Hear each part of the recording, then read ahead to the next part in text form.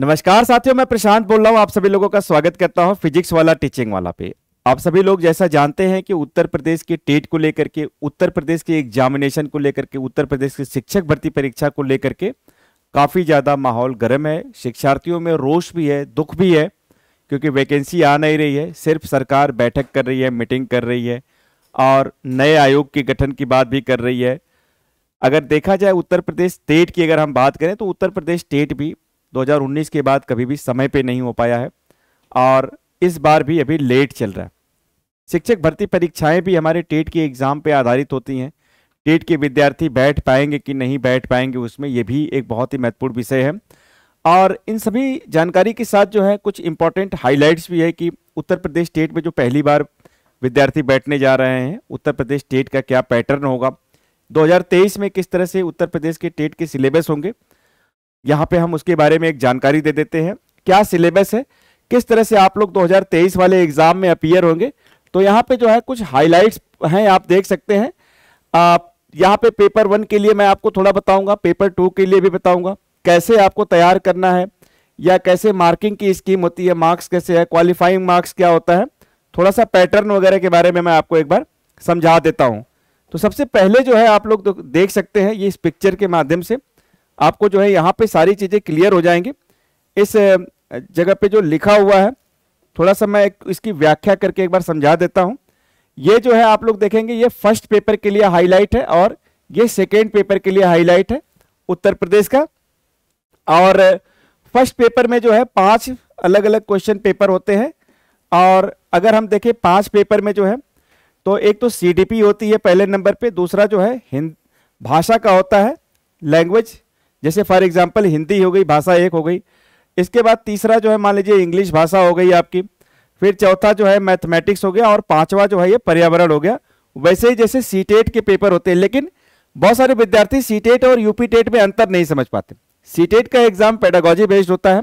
UP TET का जो exam होता है, उसमें जो सिलेबस होता है, वो थ्योरेटिकल होता है। चाहे सीडीपी की अगर हम बात करें तो वहाँ पे थॉन्डाइक के कोहलर के पावलोव के लर्निंग के मेमोरी के बहुत सारे एक्सपेरिमेंट बेस्ड या थ्योरेटिकल सवाल पूछे जाते हैं या कोटेशन है परिभाषाएँ हैं। तो क्या होता है कि थ्योरी जो है तैयार करनी पड़ती है। इसके साथ साथ यहाँ पे देखेंगे आ, कि जो टाइम होता है यहाँ पे 2.5 आवर्स का होता है ढाई घंटे का समय होता है डेढ़ सौ क्वेश्चन होते हैं एमसीक्यू टाइप के क्वेश्चन होते हैं यहाँ पे और यहाँ पे आप लोग देख सकते हैं एग्ज़ाम जो मोड होता है आपका ये पेपर पेंसिल मतलब ऑफलाइन मोड की बात है ऑफलाइन होता है यहाँ पे। और अगर मैं सेकेंड पेपर की बात करूँ यहाँ पे तो सेकेंड पेपर में जो है, ये भी इसमें अंदर चार पेपर होते हैं। और सीडीपी होती है, एक हिंदी भाषा हो गई, मान लीजिए एक इंग्लिश भाषा हो गई, दो भाषाएँ, संस्कृत या और भी भाषाएँ हो सकती है मतलब फ़र्स्ट और सेकेंड लैंग्वेज होती है। और मैथमेटिक्स का हो गया या एसएसटी का पेपर हो गया। मैथ्स वाले जो है मैथ्स या साइंस के साथ जाते हैं, और एसएसटी वाले एसएसटी सोशल साइंस लेते हैं। इस इसमें भी ढाई घंटे का समय होता है 150 नंबर का एमसीक्यू टाइप के क्वेश्चन होते हैं। तो ये कुछ एक बेसिक पैटर्न है सिलेबस का जो आप देख सकते हैं उत्तर प्रदेश के लिए है ये। इसके साथ साथ साथियों आप लोग अगर आगे देखें तो अगर हम इसको थोड़ा ब्रेक करके बताएँ तो यहाँ पे डिटेल में थोड़ी सी जानकारी मिल जाएगी आपको। आ, जो पर्टिकुलर्स है इसके अंदर पेपर वन का जो हाईलाइट है और पेपर टू का तो इसके अंदर जो है चाइल्ड डेवलपमेंट बाल विकास मनोविज्ञान होता है भाषा से एक भाषा वन और भाषा टू होती है। और भाषा में जो है इंग्लिश, उर्दू, संस्कृत, हिंदी, ये सभी भाषाएँ होती हैं, मैथमेटिक्स होता है और पर्यावरण होता है। ये हो गया आपका फ़र्स्ट पेपर का हाईलाइट हो गया। इस तरह से सेकेंड पेपर को भी आप देख सकते हैं चाइल्ड डेवलपमेंट बाल विकास, मनोविज्ञान होता है। लैंग्वेज में हिंदी हो गई या सेकेंड लैंग्वेज हो गई इसमें इंग्लिश है, उर्दू है, संस्कृत है मैथ्स है साइंस है सोशल साइंस है। तो ये जो है एक बेसिक पैटर्न जो है आपको मालूम चल रहा होगा। अगर हम मार्क्स या इसके मार्किंग के बारे में बात करें तो डेढ़ सौ नंबर के क्वेश्चन यहाँ पे आते हैं ढाई सौ टू पॉइंट ढाई घंटे का जो है इसमें समय होता है, डेढ़ सौ क्वेश्चन होते हैं और मल्टीपल चॉइस एमसीक्यू टाइप के क्वेश्चन होते हैं, चार ऑप्शन होते हैं और एक करेक्ट ऑप्शन आपको चूज़ करना पड़ता है टोटल जो है 150 नंबर आपको लाना। अब यहाँ पे ये तो सभी लोगों को पता है, ये बहुत ही बड़ी बात नहीं है। यहाँ पे एक बात मैं मेंशन करना चाहता हूँ कि उत्तर प्रदेश की भर्तियों में कई बार ऐसा देखा जाता है कि जैसे जब आपकी मेरिट बनती है तो कई बार बारहवीं के, फिर ग्रेजुएशन के, या बीएड या बीटीसी जो भी कोर्स किया है, उसके भी नंबर जुड़ते हैं। कहीं हो सकता है आने वाले एग्ज़ाम में मान लीजिए टेट के या यूपी टेट के भी नंबर वो ऐड करें तो अगर आप इस डेढ़ सौ में ज़्यादा से ज़्यादा नंबर लाते हैं तो आपके लिए एक प्लस पॉइंट रहता है, सिर्फ़ पासिंग मार्क्स के बजाय अगर आप 100 नंबर 110 नंबर 120 नंबर से भी ज़्यादा नंबर लाते हैं 130 से भी ज़्यादा तो वो आपको आने वाले समय में कॉन्फिडेंस भी देता है। सेम उसी तरह से सेकेंड पेपर में भी ढाई घंटे का समय है, डेढ़ सौ क्वेश्चन है सेम वही पैटर्न है, और इस तरह से जो है, आप लोग देखेंगे मार्किंग स्कीम में कोई नेगेटिव मार्क्स नहीं होता है। यहाँ पे एक नंबर मिलता है सही के लिए, गलत हो गया तो कोई नंबर नहीं मिलेगा। और लैंग्वेज में जो है पेपर जो होते हैं इंग्लिश हिंदी जो होती है ये चयनित कर सकते हैं आप लोग। फ़र्स्ट पेपर अगर बहुत अच्छा है, मान लीजिए हिंदी में बहुत अच्छे हैं तो हिंदी चयनित कर लीजिए इंग्लिश अच्छी है तो इंग्लिश फ़र्स्ट लैंग्वेज में रख लीजिए।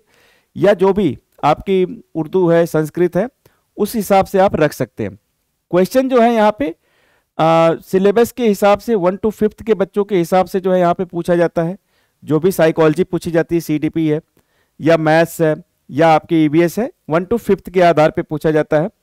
और आप लोगों को जो है डिफ़िकल्टी जो लेवल होता है क्लास ट्वेल्थ लेवल का होता है मतलब एक तरह से जो पढ़ाई करनी होती है उसमें आपको एन e ही पढ़नी होती है छो, छोटे बच्चों की लेकिन डिफ़िकल्टी का लेवल थोड़ा सा अच्छा होता है इसमें। थ्योरेटिकल चीज़ें आती हैं इसी तरह से जो है सेकेंड पेपर के लिए भी आप लोग देख सकते हैं सेम चीज़ें जो है एप्लीकेबल होती हैं।